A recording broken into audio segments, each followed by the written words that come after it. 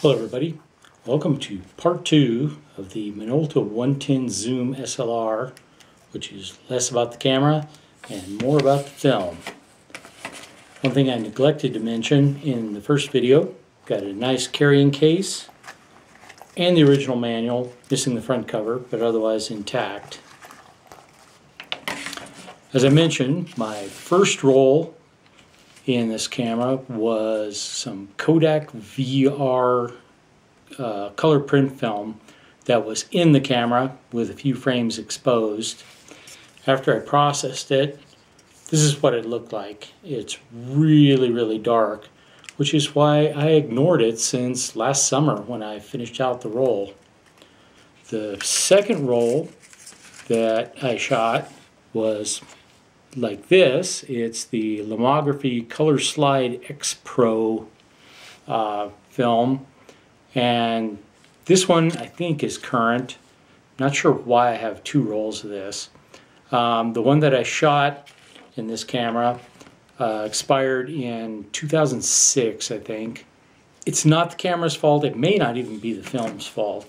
I was also on about roll six on a set of slide chemicals uh, that's supposed to be good for four.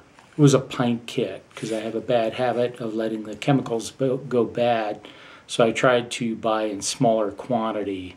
The pint kit is not really enough to use in the tank that I normally use that can adjust down to 110 film.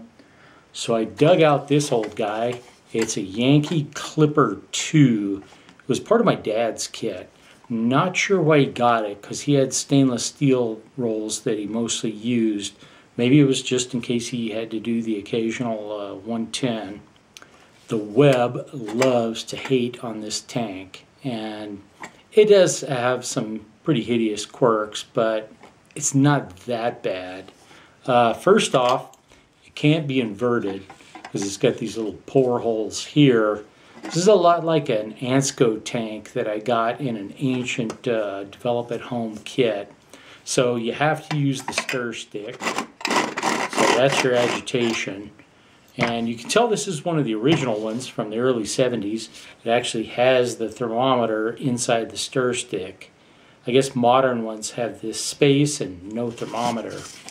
The other thing that people really hate about this, um, it's got kind of ratcheting reels. I've got it adjusted down to 16 millimeter, but there are no ball bearings. Uh, it doesn't have the actual ratchet mechanism. So even though the reels do this, you have to slide it in like this. And that can be a giant pain.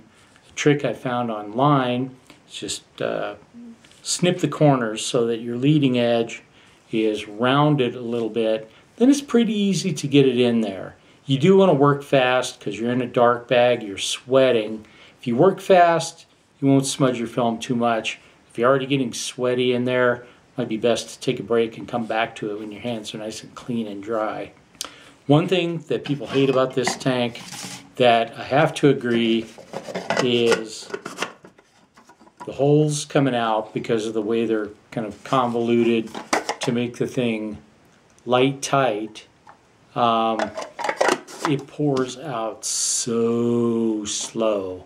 So you actually have to really take your pouring out time into consideration when you're timing your development. Anyway, that takes me to my third attempt, slitting down some 120 film to 16 millimeters so that I could reload it in a cartridge in here. And that brings us to this beastie, the Lego film slitter.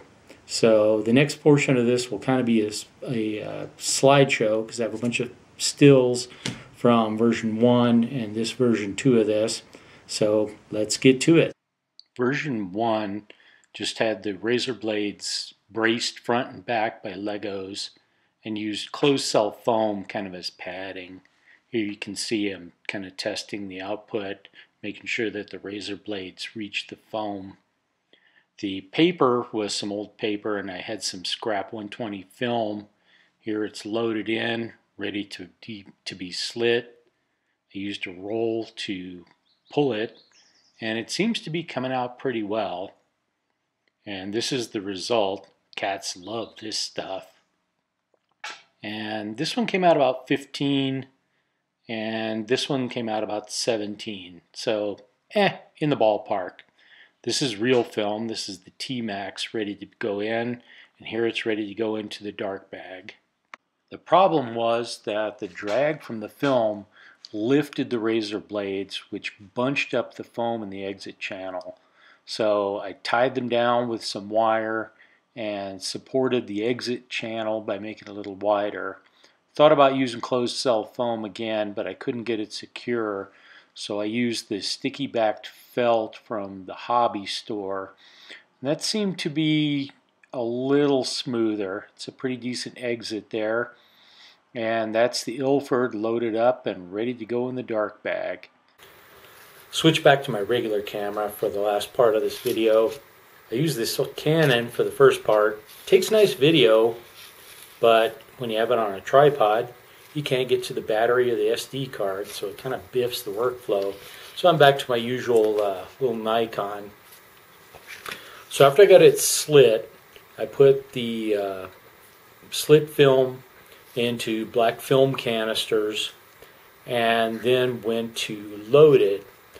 And 120 film is long enough for about 28 frames of uh, 110 film. I got greedy and used the 24 exposure backing paper from the lomography and tried to load it in. And the first thing I learned was some of my raggedy cuts. It was too tall. I could not get the cartridge completely back together. So that's why I went for the edge marked one because it was the kind of scrap side end because this channel is wider than 120. So it was the thinnest one. Then I learned that 28 frames spooled on this big fat spindle in here is too fat. The big bundle of film plus the paper can't get it to move because it's wedged in here. So I finally learned my lesson used the backing paper from the old Kodak because it was 12 exposures. Took this in the dark bag with the slender cut uh, of the four slits and cut it to this length, put it on the backing paper, managed to get it spooled. I destroyed the Kodak cartridge getting it apart. Kodak was serious about the glue they used. And then the lomography I was in and out of it so many times, I cracked it in several places. So this is actually half lomography spool and half of this old uh, 3M Scotch color. They fit together perfectly, so I guess lomography got a hold of compatible or the same molds. So the height variation was still pretty bad. So the next revision of this, version 3, I'm going to move everything this way, move the cutter portion this way, and add a take-up spool that's mounted like this. Because having the spool here and pulling it through, that's where I got so much width variation. Because I was doing it in the dark bag, maybe I pulled this way, maybe I pulled this way. So the film had a little bit of latitude to move back and forth. And the next thing I'm going to do is maybe with some felt or I'm not sure what, if I've got some skinny Legos, I'm going to uh, bring this down to where it's doesn't have quite as much slop with respect to the width of 120 film. And this is my uh, scanning setup. I taped it under tension, wrong way up, in the 120 film holder in my Canon scanner it holds it at, at about the right focal distance. It's got a little bit of bow to it, but it scans pretty clean for being such a kludge. So I've got cans of really badly butchered uh, T-Max 100, you know, the plastic film canisters. And then I've got some that are a little too tall and they have a lot of variation of the SFX 200 So what do you do with something that's around 16 millimeters but a little bit taller? A hit camera. They're 17 and a half, so the variations hopefully will not matter as much on this little camera. Made some backing paper just for eight, eight exposures since it's another experiment. So that'll be for another video, and I will see you then.